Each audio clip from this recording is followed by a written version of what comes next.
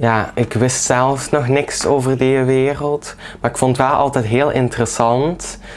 En eh, toen ben ik naar een show gaan kijken. En daar stond ik echt met mond vol tanden gewoon. Dat was zo inspirerend. En daar heb ik zoveel geleerd. En eh, ik dacht in mezelf, ja, dat moet ik zelf ook gaan doen.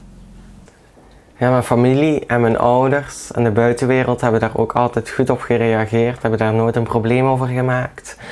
Uh, maar ik voel wel zelf dat Hasselt daar nog niet klaar voor is. Wat ik eigenlijk zeer jammer vind, want wij doen dat ook gewoon voor ons plezier. Als ik op het podium sta, dan is het mijn moment om te shinen. Ik sta graag in de spotlight en hou ervan om mensen te entertainen. Ik ben Tina Bartolina, ik ben 14 jaar en ik ben drag queen.